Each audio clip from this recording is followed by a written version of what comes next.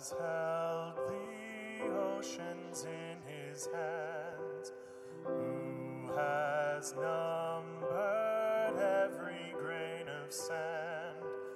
Kings and nations tremble at his voice.